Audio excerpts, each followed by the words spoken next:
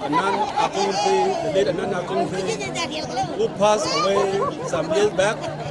And this uh, event was organized to honor and remember the icon and legends, uh, Sultan and Chief Anan Akong, who really contribute in one way or the other.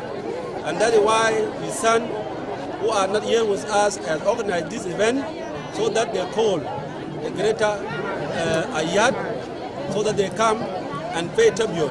And remember the legends and icon of our uh, uh, chief Nana We have come as the government of Northern Bahr el Ghazal State, headed by the advisor for Human Rights Commission, and with us is the uh, Minister of Information and Communication, Honorable uh, Abraham Wall Okom.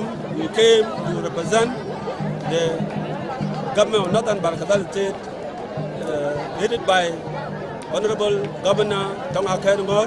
We are here as the government of the revitalized transitional government of national unity. The peace that we to